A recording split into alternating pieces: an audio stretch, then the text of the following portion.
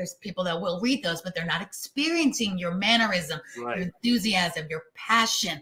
So it's not about looking the prettiest or the best on these reels or on these stories or on these lives. Just let them experience you. And I think the pandemic did one good thing for all that. It brought everybody's eh, excellence level down, where you had Jimmy Fallon doing the Tonight Show in his office with his kids hanging off his head, and you know, we were they were Ryan Ryan um, Seacrest was in his kitchen doing, you know, Kelly and Ryan. They were all in their homes. Um, Kelly Clarkson, no makeup, sitting in her little studio doing her show, her primetime morning show, still winning an Emmy for it. And we realize it's not about the hair and the makeup and the lights and the camera and the studio. It's about the person, the entertainment value, the content. So it's given everybody that level playing field to just get on camera.